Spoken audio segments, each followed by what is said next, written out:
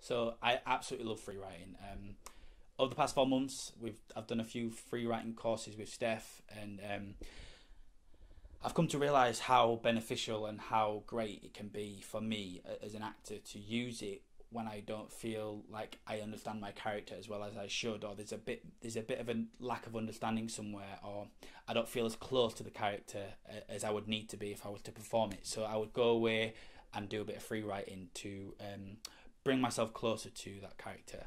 And another reason why free writing and the course is great is because it allows or reminds you of the benefit of letting go and and allowing and releasing and going where the free writing takes you. And that is something that I that I, I definitely know that I've um, taken forward into my other aspects of my work whether it's rehearsal or an R&D I know that there is a benefit to letting go. Um, and finally just that idea of working with Steph and with both feet um, they have a real knack of caring about the people that enter the room and and first and foremost, it's about getting the best out of you and allowing you to be the best you possibly can be.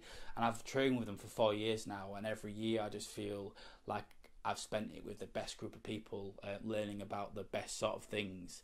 So if you're thinking about jumping in, I, I would completely because you won't you won't regret it. It's just a great experience. You'll love it.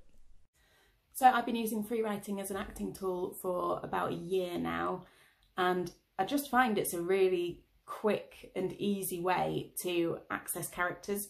So maybe if I've got an audition piece and I'm struggling to take an angle on it, it can often help me to um, explore different possibilities and to get more of an emotional connection to that character.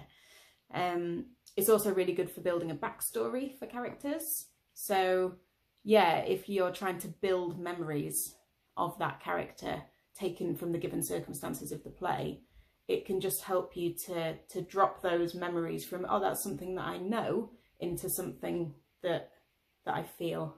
Um, it's it's a fantastic tool, really really good. I use it in my personal life as well, just when I need to get stuff out onto the paper.